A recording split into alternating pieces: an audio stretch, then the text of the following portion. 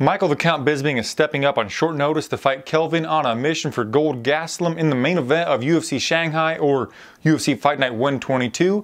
My name is Flying Brian J. This video is brought to you by MMAMania.com and I want to make my breakdown rather simple. Let's start talking about how people say Kelvin Gastelum is too small for this division and Chris Weidman proved that. Well, Chris Weidman used a grappling centric approach to really sap the energy from the smaller fighter in Gastelum.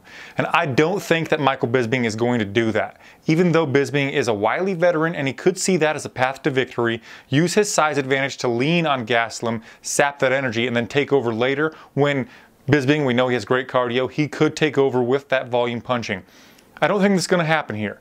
Even if Bisping were to use that approach, I don't see him being able to hold Gastelum down for very much time at all. He's not nearly the grappler that Chris Weidman is, and I don't think that's his path to victory for Michael Bisping. Also, I think that Bisping is coming into this fight too soon. It was just three weeks ago that he got dropped and then choked unconscious against George Rush St. Pierre. And I always say that I think that fighters who get dropped like that or knocked out, whatever, should take six months to a year off. Let that brain heal a little bit. And I know that Bisping didn't get finished by KO or TKO, but he definitely got dropped. And I'm certain that he got concussed.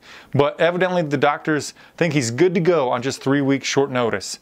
And I don't know about that. I think that could be to his detriment here in terms of the stand-up striking matchup, both guys are really diverse with their attack and they like to end combinations with low kicks. They have really intelligent lead hands. They're good with hooks from that position. Um, and they're overall got great cardio. I think that the youth advantage. Kelvin Gastelum is 11 years younger than Michael Bisping, accompanied by that short notice by Michael Bisping here, is going to give Gastelum a good speed advantage. Gastelum loves to spam the 1-2. And he can close that distance, even though he's the smaller fighter, will be at a little bit of a reach disadvantage to Bisping. He can close that distance extremely, extremely quick. He loves to just flash his right jab out there and come with a left straight or an overhand left. And he'll also throw a lead left hook as well. But I think that that combination right there is what's going to get Gastelum this victory. George St. Pierre said in his post-fight interview at UFC 217 that Bisping doesn't see very well out of Bisping's right eye because he had that retina problem. I think it was from a kick from TRT Vitor Belfort. The same thing that GSP did. He said he practiced doing it, attacking to the opposite side of that eye to get his attention, and then coming to that eye would get the better of Bisping, and that's how GSP dropped him.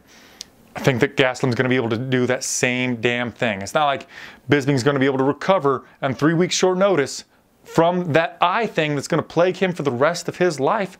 The speed advantage is on the side of Kelvin Gastelum. I think that if Gastelum were to go for takedowns, if he were to get the fight to the ground, sure, Bisping showed a really good ability to hurt his opponent off of his back, cut him up a little bit, make him pay for taking them down. But just the threats of level changes and the threat of wrestling is going to help Gastelum open up the striking along with attacking to the opposite side of like attacking the good eye of Bisping and then coming with a real attack to Bisping's bad eye. I think that Gastelum drops him midway through the second round and finishes him with some ground pound. But it's not too bad because Bisping will be, will be back for his swan song in London. And he, he could possibly win that fight, but I don't see him winning on Saturday at the ass crack of dawn. And I've got Kelvin Gastelum via KO or TKO in round number two. Tell me who you're picking in the comment section down below. Please give the video a cheeky little thumbs up. I'll see you in my next one. Namaste.